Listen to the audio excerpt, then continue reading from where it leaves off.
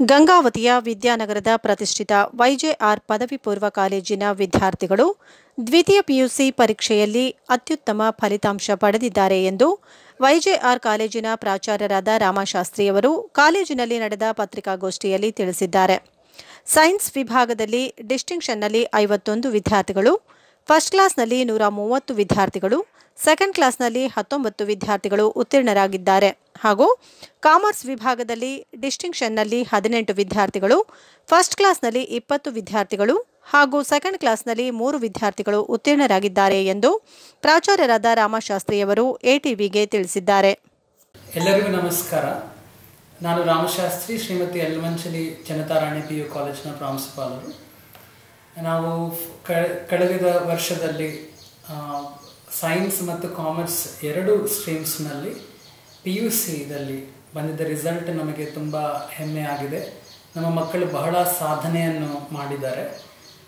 ಎರ, ಸುಮಾರು ಎರಡು ನೂರ ಹದಿಮೂರು ಜನ ಎಕ್ಸಾಮ್ ಬರೆದಿದ್ದರೆ ಸೈನ್ಸ್ ವಿಭಾಗದಲ್ಲಿ ಅದರಲ್ಲಿ ಐದು ನೂರ ಐವತ್ತು ಐದು ಎಂಬತ್ತೈದು ಮಾರ್ಕ್ಗಳನ್ನು ಸಾಧಿಸಿದ ಕೆ ಮೇಘನ ಅವರು ಡಿಸ್ಟ್ರಿಕ್ಟ್ ಲೆವೆಲ್ನಲ್ಲಿ ಸೆಕೆಂಡ್ ಪೊಸಿಷನನ್ನು ಪಡೆದಿದ್ದಾರೆ. ಹಾಗೆ ನಮ್ಮ ಕಾಲೇಜಿಗೆ ಸೈನ್ಸ್ ವಿಭಾಗದಲ್ಲಿ ಇಡೀ ರಾಜ್ಯಕ್ಕೆ ಹನ್ನೊಂದನೇ ಸ್ಥಾನ ಸಿಕ್ಕಿದೆ ಅಂತ ತಿಳಿಸಲು ನಾನು ಬಹಳ ಸಂತೋಷವಾಗಿದ್ದೇನೆ. ಆಮೇಲೆ ನಮ್ಮ ಮಕ್ಕಳದಲ್ಲಿ ಬಹಳ, ಅಂದರೆ ಪ್ರತಿ ವರ್ಷ ಮಾಡುವ ಸಾಧನೆಗಿಂತ ಹೆಚ್ಚಾಗಿದೆ ಈ ವರ್ಷ. ಅದಕ್ಕೆ ನಾವೆಲ್ಲರೂ ಕೂಡ ತುಂಬ ಸಂತೋಷವಾಗಿದ್ವಿ ನಮ್ಮಲ್ಲಿ ಟೋಟಲ್ ಡಿಸ್ಟಿಂಕ್ಷನ್ಸ್ ಸೈನ್ಸ್ ವಿಭಾಗದಲ್ಲಿ ಐವತ್ತು ಒಂದು ಆಗಿದ್ದಾವೆ. First classes one hundred and thirty ಆಗಿದ್ದಾವೆ ನೂರ ಮೂವತ್ತು ಸೆಕೆಂಡ್ ಕ್ಲಾಸಸ್ ಹತ್ತೊಂಬತ್ತು ಆಗಿದ್ದಾವೆ ಸೈನ್ಸ್ ವಿಭಾಗದಲ್ಲಿ.